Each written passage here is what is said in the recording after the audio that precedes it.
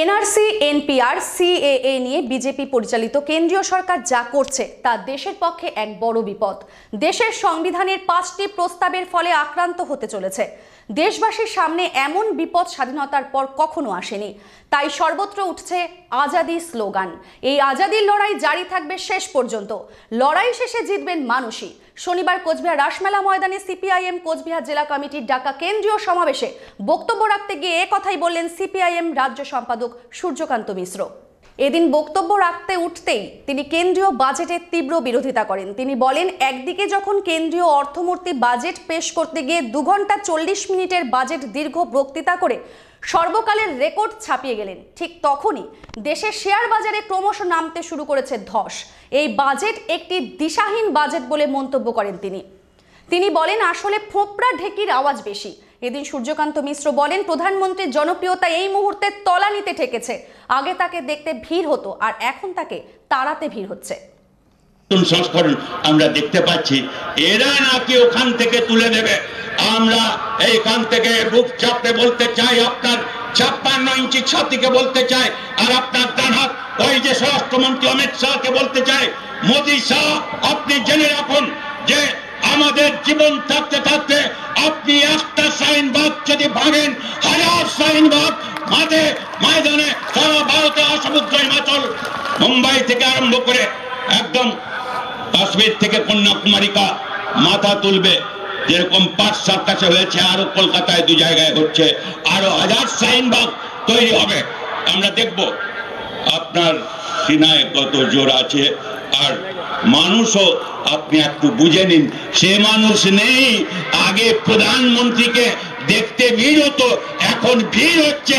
প্রধানমন্ত্রী ফেরত যাও বলতে, গো ব্যাক ব্যাক বলতে আগে প্রধানমন্ত্রীকে দেখতে হতো এখন দাঁড়াতে হচ্ছে।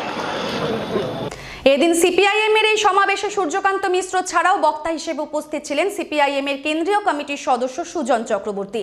দলের কোচবিহার জেলা সম্পাদক অনন্ত রায়, রাজ্য কমিটির সদস্য তামসের আলী প্রমুখ।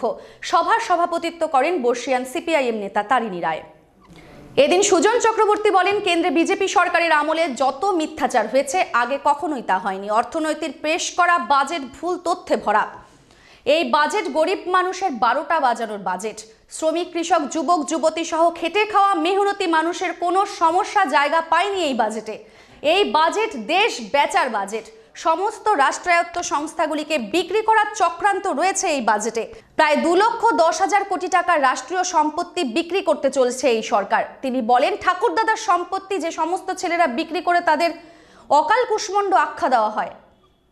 বর্তমানে কেন্দ্র সরকারকে এই আখ্যাই দেওয়া যেতে পারে। এনআরসি, এনপিআর কিংবা সিএ এর মাধ্যমে আসলে এদেশে বিভাজনের রাজনীতিকে প্রশ্রয় দিচ্ছে বিজেপি পরিচালিত কেন্দ্রীয় সরকার বলে এদিন অভিযোগ করেন সুজন চক্রবর্তী।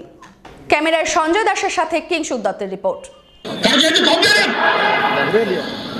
যদি একবার দিল্লি মানুষের মধ্যে ভাগাভাগি করতে পারে, যদি কেউ মনে করেন তাছাড়া যা হচ্ছে সংখ্যালঘুদের উপর হোক, কিংবা যা হচ্ছে ওপর বাংলার লোকের উপর হোক, কিংবা যা হচ্ছে অমুক পাড়ার লোকেদের উপর হোক, একবার যদি প্রশ্রয় আমরা দিয়ে ফেলি, আজকে যারা বলছে ধর্মের বিচারে সংখ্যালঘু সংখ্যাগুরু ভাগ করে আলাদা করতে চাইছে। কাল বাদে পরশুদিন প্রশ্রয় যদি একবার পেয়ে যায় ভাষার ভিত্তিতে সংখ্যালঘু সংখ্যাগুরুর বিশ্লেষণ করে বিভাজন করতে চাইবে। যদি একবার আমরা প্রশ্রয় দিয়ে